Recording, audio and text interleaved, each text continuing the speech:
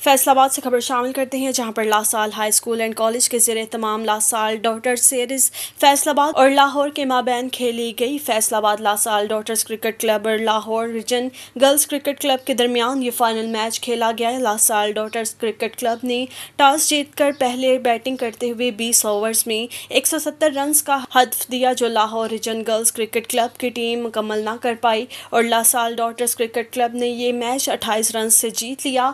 LaSalle daughters cricket club की तरफ़ से दुआ माजिद ने छियासठ रन की शानदार इनिंग खेली और प्लेयर ऑफ़ द मैच करार पाई La Salle high school and college Faisalabad के principal reverend brother Sajid Bashir sector coordinator Pakistan director sports miss Ayesha Arbab officials mister Imran Rana और इंतजामिया को ये सीरीज़ जीतने पर हम मुबारकबाद पेश करते हैं।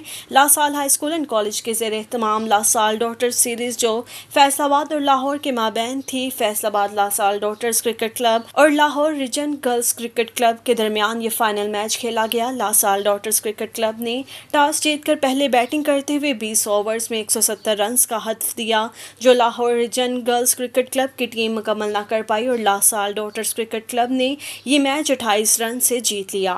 लासाल डॉटर्स क्रिकेट क्लब की तरफ़ से दुआ माजिद ने छियासठ रन की शानदार इनिंग खेली और प्लेयर ऑफ़ द मैच करार पाए।